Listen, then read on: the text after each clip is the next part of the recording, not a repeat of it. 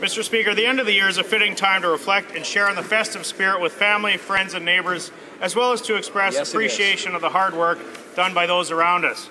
As Chair of the Standing Committee on Finance, I would like to thank all the members of that committee, all of our clerks, our analysts, and all Great of our group. staff who support our committee's work. We have had a very busy and productive session, and I sincerely appreciate all of their efforts. I would also like to thank my very hardworking office staff, both in the constituency in Ottawa, who work so diligently throughout the year to ensure the needs of Edmonton Leduc constituents are met.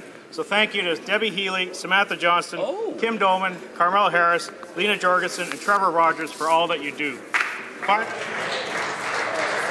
Remind all members of safety during this holiday season. There is always an option to get home safely, whether, whether it's calling a friend, a cab, taking public transportation, or using a service like Operation Red Nose, the wonderful volunteers who You work bet. there.